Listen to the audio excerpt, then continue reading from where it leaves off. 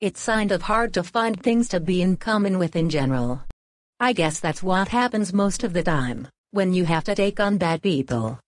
I'm going to be in a game with a huge variety of players, and I'm nervous to even say anything to them, because I know Dylan is a part of that show, and he's quite insane. I don't support his sister though, since I saw what happened recently with Philip. That's my opinion though.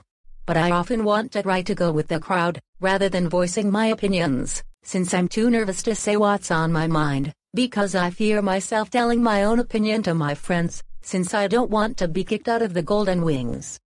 But I definitely think this show is worth a good break. I would love to meet new players, and possibly form new friendships. I'm so excited for this opportunity.